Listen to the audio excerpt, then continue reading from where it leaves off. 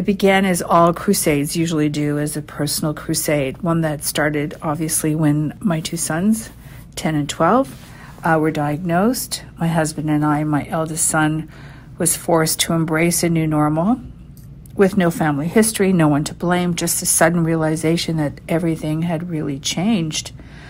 And as, as I speak to every parent who is listening, uh, when those you love, especially your children, are affected by something you don't understand, you're scared and you're lost, and you don't know where to turn. Everything is spinning around, seemingly without end. That's where my husband Joan and I found ourselves over 25 years ago. I'll be honest, it was a very scary time.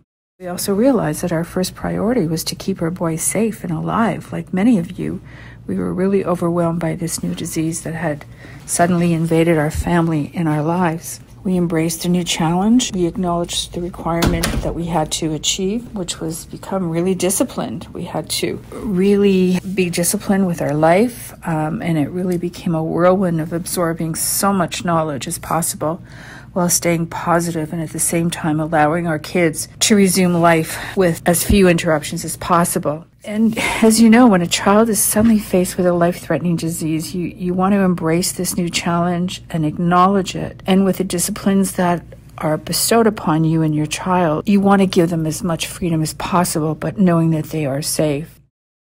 The transition to post secondary school is, is really a great period of anxiety for parents and, and caregivers. But knowing that the disciplines that we've given them when they were younger, hopefully they'll reach into their resources and they will figure it out. There are so many situations that I can tell you all that created so much anxiety and panic and just that aha moment, but not aha meaning like it's been amazing. It's just been overwhelming. But I knew that my husband and I, who coached them through hockey and soccer after they were they developed diabetes, gave them the disciplines that they needed to carry them forward. And this, uh, as I speak to you all as parents, this is something that you have to all believe in. That you give your kids the disciplines, the love, and the support that they truly need before they transition and during their transition. And they will, believe me, figure it out.